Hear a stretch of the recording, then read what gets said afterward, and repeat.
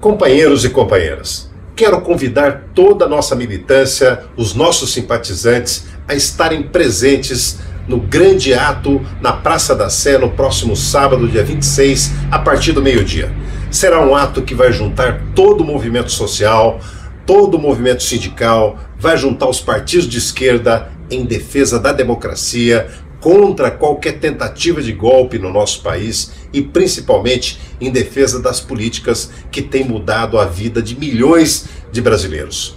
Nós agora temos que dar um basta a essa tentativa da direita de mais uma vez na nossa história querer chegar ao poder sem voto, de querer chegar ao poder pela via do golpe.